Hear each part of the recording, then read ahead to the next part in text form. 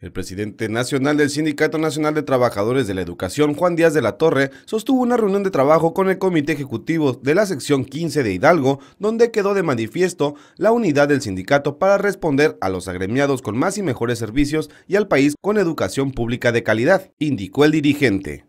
Aquí, el líder nacional del sindicato dijo que la unidad es un principio histórico y que tiene la obligación de protegerlo. Díaz de la Torre dijo que México ha cambiado y el sindicato ha acompañado al país en su transformación. En el sindicato advirtió, no caben las actitudes patrimonialistas porque el sindicato es un patrimonio colectivo.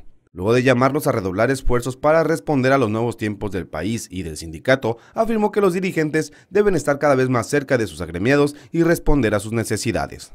Dijo que se trata de un sindicalismo cada vez más transparente, de compromiso y de servicios que eleve la calidad laboral y la vida de los trabajadores, así como de una educación de calidad.